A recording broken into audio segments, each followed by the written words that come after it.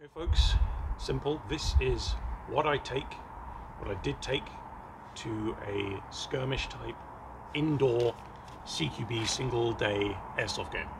I got my first gun in 2006, so I've been playing a long time, collecting a long time. This is uh, not necessarily what you need. This is more than what you need to play the game. If you're a new player, you don't need all of this stuff. This is what I've built up to over a long time. Uh, this is what I take. I've never had a problem. I always find I'm comfortable. I have what I need. Never had to go home early through uh, equipment failures or lack of kit, anything like that, which is something you do see quite often. So we'll go around and uh, yeah, this is what I take. I'm not going to go into the specific items because that would be too long. I'm just going to say what I take, uh, if that makes any sense. So boots, if make sure you check your site rules. Some of them require ankle support, like the uh, last place I booked at.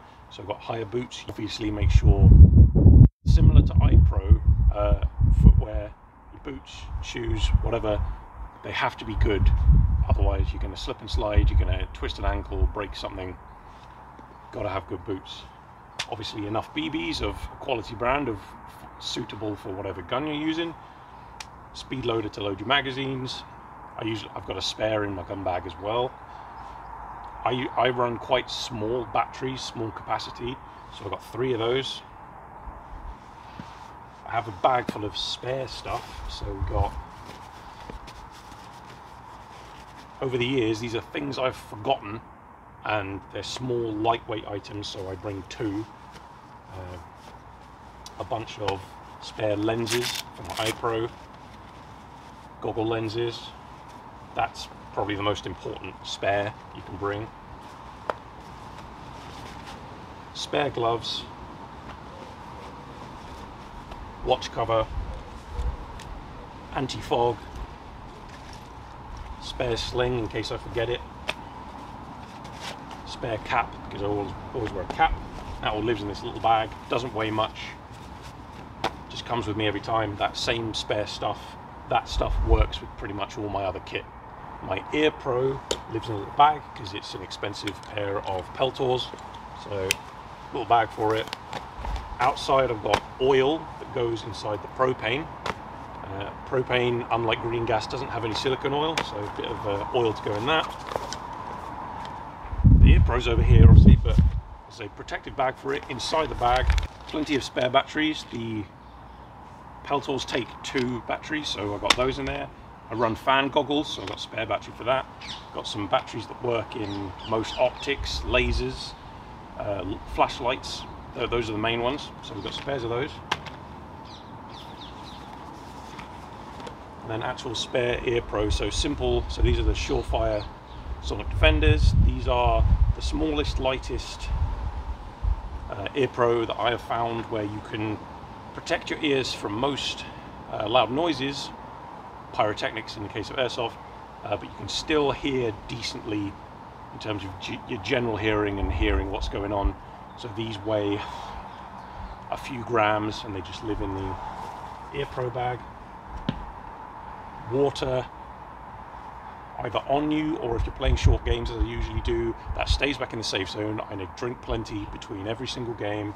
I've Got a three litre bladder there. I have another litre bottle on me, in the car, in the bag, whatever it is. Water is vital. The number of people who just drink energy drinks at Airsoft is insane to me. Clothing, have to get your layers right, folks. You've got to get your layers right. This is just a combat shirt you know, have your morale patches, have your, you know, nice, comfortable combat shirt, but, you know, if it's cold, make sure you lay it up. If it's hot, make sure you're wearing the minimum that just protects you from the sun. Simple as that. I tend to go with a combat shirt with a plate carrier because obviously that makes sense. You know, you just pick your combinations of clothing and kit based on the temperatures and, and what you need to carry and what's comfortable for you, and of course, what you have. So combat shirt, good solid pair of trousers, ideally with some kind of integrated knee protection versus having to wear separate knee pads, they always fall down. Good socks, we've got some first beer merino wool socks. Seems minor, and to be honest, granted, if it's short airsoft games, yeah, you can get away with you know more basic everyday stuff, but as you build up, it's better to have the good things. Uh, Varusteleka Finnish camo uh, Cool Max base shirt. The base layers are vital. Got to have a wicking base layer. Uh, British. Uh, so the t-shirts I've been issued over the years are really wicking, and I just wear them all the time. And that is basically the same as a British issued t-shirt. In this instance, plate carrier with a placard, Spiritus insert. Uh, the plate carrier has four mid caps on it, three in the placard, got one back here, got a GP pouch for literally whatever you can, you know, people forget you can put magazines, smoke grenades, anything in GP pouch. Generally, what I have in one of the two GPs is my phone, wallet, car keys, so I can keep them safe on me. Maybe spare gloves, maybe some kind of uh, small snood or something like that. As I mentioned, this is kit for an indoor game, so Electronic Ear Pro, so I can hear what's going on, but also when someone chucks uh, blank firing grenades, cardboard grenades, disposable pyro, whatever it is, in really small concrete rooms, you will get hearing damage from that stuff going on, going off in close proximity. So I wear hearing protection. I get hearing tests every year in my job. And the fact is, hearing never heals, so protect it. Sidearm, get a good one. Tokyo, Tokyo Marui gas pistols and have to mention holster. This is only Blackhawk, but it's it's the retention on it is solid and reliable. You've got to have good retention on the pistol, and it mustn't press your magazine release button, as a lot of the cheap fabric ones do. Go to the belt line. Two part belts are great, but not entirely necessary. Way to attach the holster. I like dump pouches airsoft mags are weak uh, and expensive compared to real ones. I've got a double mag pouch, uh, Spiritus Spud in this case. That that can either or in this case the blank firing grenades in there.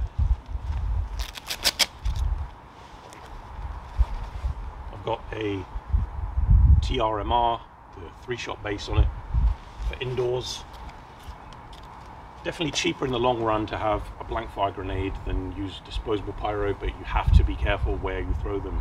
That will knock someone out if you if you lob it and it catches them on the head. Speed reload, rifle mag pouch, a couple of pistol mag pouches, standard stuff. Always have two guns that share the same magazines. That's how I've always been.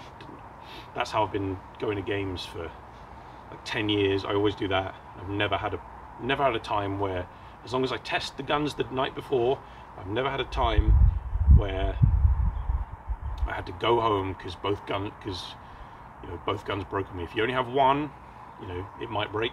If you have two, I mean, yeah, sure, they could both break, but the probability goes way down. I like TM recoils. I've been using them forever.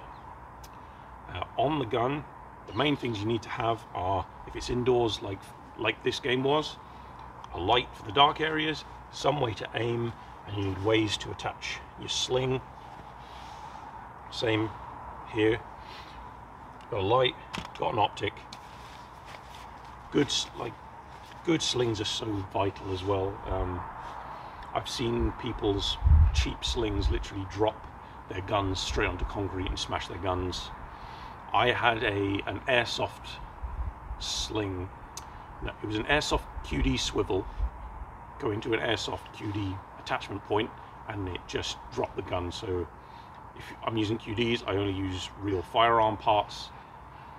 Uh, best to just use like BFG Uber loops, uh, just simple one inch slings just threaded through with tri-glides. The simple real slings are rugged as hell. They will not ever break and they're way cheaper than trying to get like a uh, Magpul MS3 or a Haley or something with QDs, like a Blue Force gear with QDs or whatever. Gotta have a good sling. something I forgot to say with the plate carrier. For goodness sake, make sure the shoulder straps are short enough the top of the plate on the front plate bag sits in line with where your collarbones meet in the middle uh, and the rear bag isn't too low because that is the most common thing with airsofters and it looks terrible. So if you want to look cool, adjust a plate carrier properly, put some foam plates in it, don't wear weighted plates, they're a terrible idea by CrossFit idiots. So get that adjusted properly, get your belt fitting properly in the right place so it doesn't shift around. Don't wear your holster too low, classic one. And that is that folks. For watching social media links down in the description. Check them out. And uh, I'll see you next time.